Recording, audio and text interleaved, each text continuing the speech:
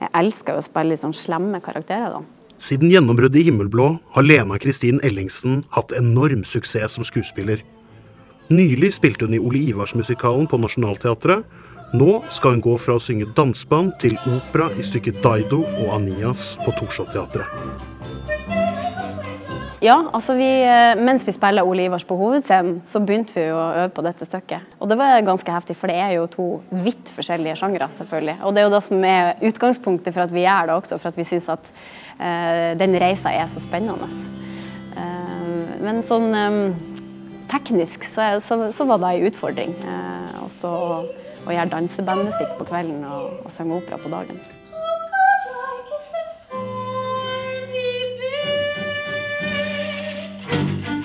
I 2009 fikk Lena Kristin Gullruten for årets kvinnelige skuespiller for hennes innsats som den godhjertede butikkekspeditøren Caroline i Himmelblå.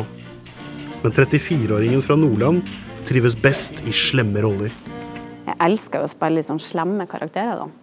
Så Anitra Skolmen i Kampen for tilværelsen er jo absolutt en favoritt. Er det ekstra artig å ta de ut fordi du ikke er sånn eh, privat? eller? Ja, man kan jo ikke gå rundt og være skikkelig eh, badass til vanlig. Så det er klart at å få lov til å kose med dårlige sider og dårlige egenskaper, det er jo det, det, er stas. Hvor henter du inspirasjonen til sånne, til sånne roller? Nei, jeg har så mye gørr inni meg som trenger å komme ut. så det...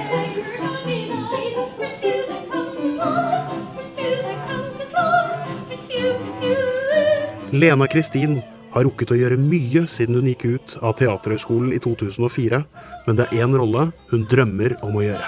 Eh, ja, altså det, det er jo en klisjé, og det er veldig mange svarer, da. Men jeg har veldig lyst til å spille Hedda Gaber. Hedda Gaber. Ja. Har du gjort Ibsen før, eller? Ja, det er Hermene på Elgeland. Og ja. Hjørdis er jo på en måte en man kan si bestemora til Hedda Gaber, den karakteren som jeg gjorde. Men det, vi, altså det den må jeg spille før jeg dør.